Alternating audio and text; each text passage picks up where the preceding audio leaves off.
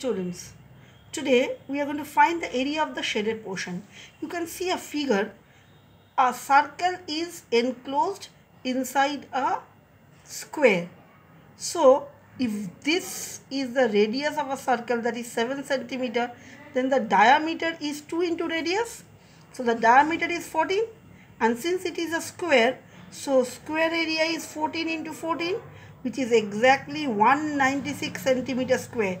So the area of the whole square is 196 centimeter. Now we are going to find the area of the circle. So area of the circle is pi r square.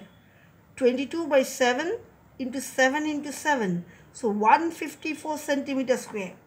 From the area of the square, if I subtract the area of the circle, I will get the area of the shaded portion.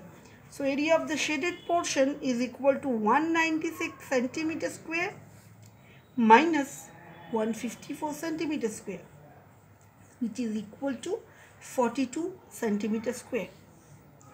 Now the radius of a circular wheel is 42 centimeter.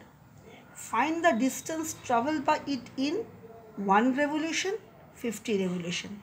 So here I would like to say the distance traveled by a wheel in one revolution is equal to its circumference. Therefore, one revolution is equal to 2 pi r. So, 2 into 22 by 7 into 42. Here it's coming 264 centimeter. So, which we can write as 2.64 meter.